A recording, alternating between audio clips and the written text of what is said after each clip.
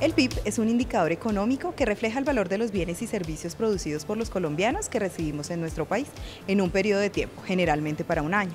Estas unidades residentes corresponden además de los hogares a las sociedades, a los bancos, a la administración pública. El PIB se calcula generalmente para un país y para periodos de un año o de un trimestre. En forma general, el PIB contabiliza la producción total de las unidades residentes y adelanta información relevante para la toma de decisiones. Cuando analizamos la variación del PIB entre dos periodos de tiempo, es necesario distinguir dos tipos de cambios, los cambios debidos únicamente a la producción y los cambios debido a los precios.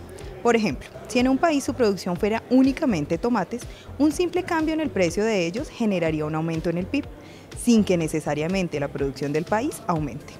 Así, si el crecimiento nominal del PIB eliminamos el efecto del aumento en los precios, obtenemos el crecimiento real de la economía, que correspondería al mayor o menor volumen de bienes y servicios finales producidos por el país.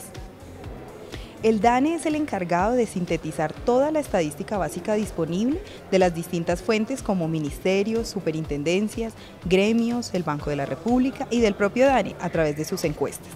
Así, mediante un sistema completo y coherente se construyen las cuentas nacionales de Colombia, las cuales se basan en el sistema de las cuentas nacionales, que es el manual que se aplica en forma armonizada y el cual fue desarrollado por las Naciones Unidas, la Organización de Cooperación y Desarrollo Económico, el Fondo Monetario Internacional y el Banco Mundial.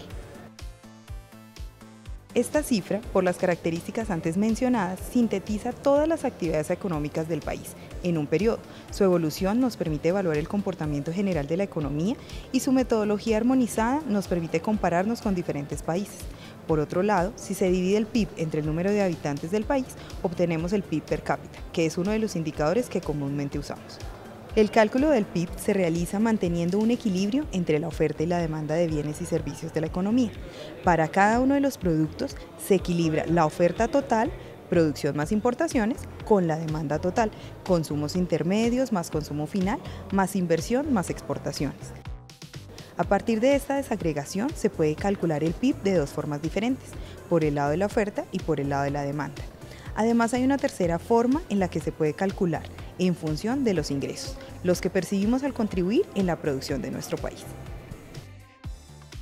El PIB nacional y departamental de nuestro país se publica en la página web del DANE. Los resultados se publican trimestral y anualmente. En el calendario de publicaciones del DANE se puede encontrar la información relativa a todas nuestras publicaciones.